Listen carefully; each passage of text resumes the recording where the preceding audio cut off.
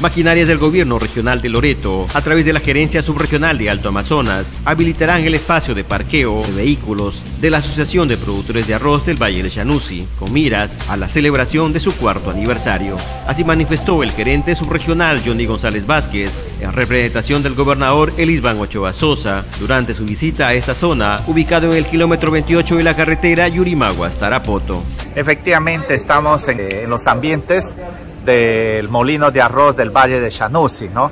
Eh, eh, ellos están a puerta de celebrar su cuarto aniversario y nos pidieron el apoyo para habilitar todo este espacio de, parqueo de vehículos para que eh, el día de su aniversario se esté pues en perfectas condiciones, ¿no?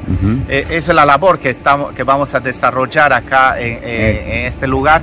Asimismo, el funcionario anunció que se realizará el mantenimiento de cerca de 36 kilómetros de vías, con lo que se mejorará el tránsito vehicular en San Juan de la Libertad. De eh, hacer el mantenimiento respectivo de 36 kilómetros de, trocha. ¿no?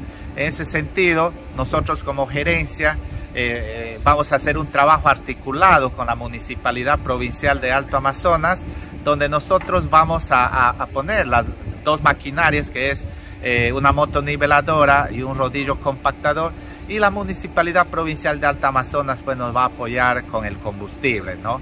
Y la comunidad va a poner pues lo que es la alimentación de los operadores y otros, este, y otros compromisos más que, va, que, van a, que vamos a necesitar para, para resolver los problemas, especialmente lo que es cuestión de alcantarillas. ¿no? Cabe precisar que el gobierno de Lisbán Ochoa Sosa viene ejecutando articuladamente con la Municipalidad Provincial de Alto Amazonas un conjunto de proyectos de infraestructura vial para facilitar a los hombres del campo acceder con sus productos a los principales mercados de Yurimaguas y la región San Martín. Gobierno Regional de Loreto.